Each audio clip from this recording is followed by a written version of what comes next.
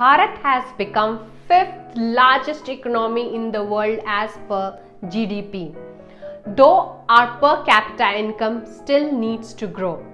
Hello everyone, this is Monika Singh Shekhawat, MD and Craftsman Coach for X5 Retail India. Do you know Bharat used to be one third of world GDP before Mughal era and one fourth before onset of British rule. And in 1947, when we got independence, we were only 2% of world's GDP.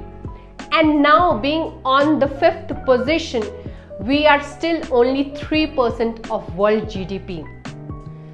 This shows we have a certain hope to grow and have a long way to go and we can become much more than what we are today. Earlier, Indian economy was majorly dependent on two sectors, agriculture and handicraft sector. Deindustrialization of handicraft sectors started during British rule from 18th century. We need to evolve, strengthen and modernize this sector. By modernization, it does not mean westernization.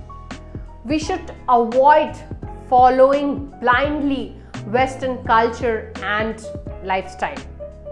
We should make an effort to revisit our cultural heritage of handicraft and handloom. Sustain and thrive our centuries old treasure, craft treasures.